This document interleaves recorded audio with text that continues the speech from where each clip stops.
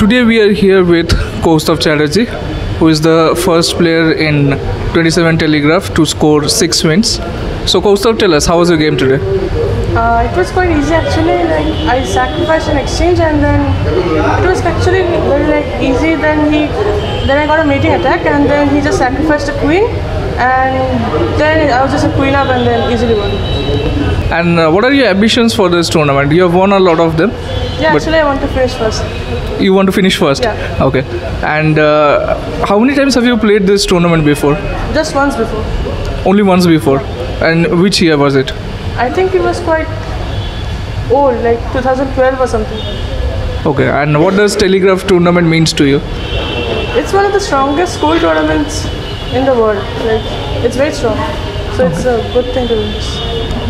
Thank you, Koustav, for speaking with ChessBase India. I wish you all the best for the rest of the tournaments.